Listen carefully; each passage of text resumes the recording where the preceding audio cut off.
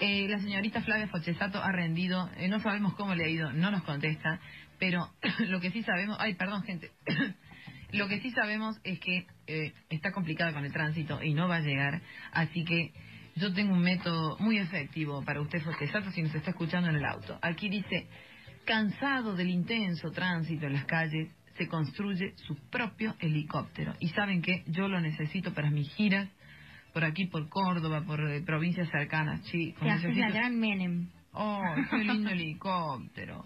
Eh, un helicóptero propio. A ver, Heticera. Se sabe que los intensos atascos de tránsito en Indonesia hace que los automovilistas se vuelvan locos, por lo que este hombre decidió superar la rutina diaria construyendo su propio helicóptero. Jujun, otro como otro para vos. Enero Jujun Junaedi pasa su tiempo libre en un patio trabajando en su proyecto guiado, escucha esto, guiado por videos instructivos. Me lo imagino al negro Jujun viendo tutoriales en YouTube para armar un helicóptero, como muy fuerte. No. Mientras sueña con volar por encima de las atascadas carreteras de Sukabumbi, su ciudad natal. Dice, es increíblemente frustrante, se te acaba la gasolina y es una pérdida de tiempo. El hombre tiene 42 años. Cuenta, terminas totalmente exasperado cuando llegas a destino. Al comenzar, empezó a comprar piezas y usar restos de su taller de reparación de automóviles. Dice que ha gastado alrededor de 30 millones de rupias, que son unos 2.100 dólares en su creación desde que comenzó a construirla hace 18 meses. Pero para dos mil dólares en un helicóptero no es nada.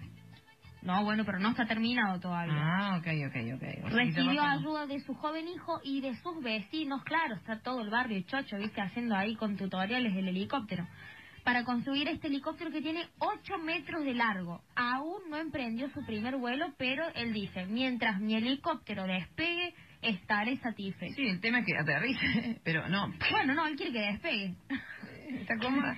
Sí. Está mirando. Bueno, justo usted tenía un chiste para esto. Escúcheme una cosa. ¿Cómo era? Eh, ¿Cómo se dice? Ah, eh, tengo un otro chiste. En, eh, nos está escribiendo Furor. Me quieren contratar el Flaco Pailos para el teatro para contar chistes. Claro, el circo de Pailos. Claro, el circo de Pailos que va a estar allí en el Teatro Coral de nuestro querido amigo Miguelito Pardo. Le mando un besito. Les recuerdo que yo voy a estar en Luisa Teatro Concert, allí en el complejo de Casino de Carlos Paz un teatro con su ingreso propio, pero es allí en el complejo de casino, eh, con la venta de entradas eh, anticipadas, ya les voy a avisar desde cuándo, allí en el Teatro Luxor, Libertad y Coral, para que me vaya a ver Oliva, Belén y La Mar en coche. Allí estaremos con Coqui, 20 años, voy a hacer un recorrido por... Hace 20 años empecé a cantar. Tengo tantas historias, más historias que ya atrás para contarles, con grandes figuras y artistas que me han dado eh, espacio en su escenario, consejos. Alberto Plaza, bueno, se merece eh, el 90% del show, pero va a ser un show, la verdad que muy emotivo para mí misma y creo que la gente lo, lo va a recibir de esa manera. Tengo un día maravilloso, estoy inspirada. Me confirmó un invitado que va a cantar un tema extraordinario conmigo. Eh, no voy a adelantar quién, pero la verdad, un lujo, una humildad. Lo quiero, estoy feliz. Eh, iba a contar un chiste. El chiste. Eh, ¿Cómo se dice minifalda en chino? ¿Cómo? Cachichelebe. Ya me, ya me recién ve, por eso me lo cuenta. Está muy cómoda la silla, ¿Sabes por qué? Porque estoy cómoda, estoy segura, me siento tranquila. ¿Por qué? porque, porque yo llego y le doy un besito a Joaquín y que nos cuida. Nos cuida. Claro. Goes te asesora y protege. GOES, empresa de seguridad. Encontranos en Menéndez Espiral 3531, primero C, barrio Urca. O podés escribir a info arroba goes.com.ar. Goes.com.ar, info arroba goes.com.ar. Nos cuidan los chicos. Ayer paró el auto patrulla que tienen ahí los chicos. Nos cuidan, parece la Policía Federal. Este, yo llego todos los días. Joaquín es uno que está siempre con el mate en la mano. Siempre está con el mate. Mientras no sea el arma. No, no, no.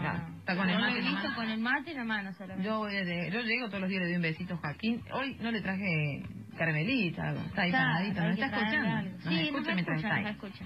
Este, ya se sacó las auriculares hace rato, dice, pobrecita. Me. Eh, escuchame una cosita, eh, te iba a contar algo más, y viste cuando se te nubla el cerebro. Ah, ¿cómo se dice 99 en chino? Mm, A ver, decímelo. Cachichén. qué mala, qué mala. Tenemos que mejorar un poquito el repertorio. Es Yo sigo esperando Sí. que se solidarice alguien del barrio y me traigan al huevero a Fernet con coca. Quiero saber del huevero, pero no, no, no, no, no. Es una cosa que no, Dale, no, papá, dale. no me dan bolilla. Escúchame la otra noticia. Qué linda noticia. Esta es para mí. ¿Cuál? Dice, un restaurante, un restaurante, un restaurante, ¿verdad? Un. Donde podés pagar con seguidores de Instagram. Discúlpame. Discúlpame. Yo tengo poquitos.